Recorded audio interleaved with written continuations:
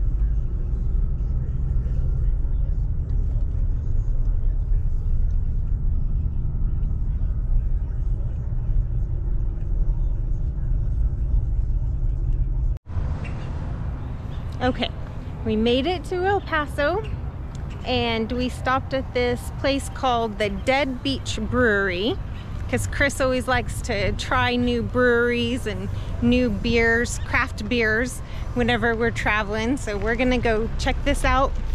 And it is his turn to choose dinner when we're in El Paso. I'll get next time.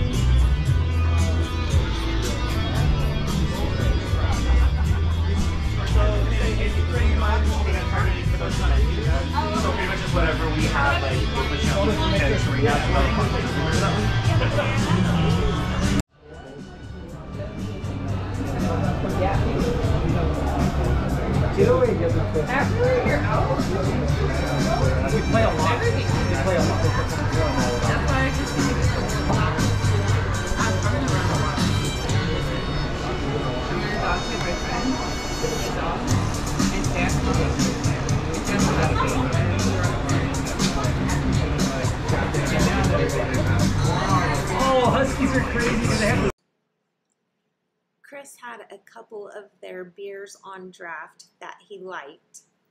I had a spicy mac and cheese with smoky brisket on top that I loved. And then he had also a smash burger And then we both had some churros that were amazing.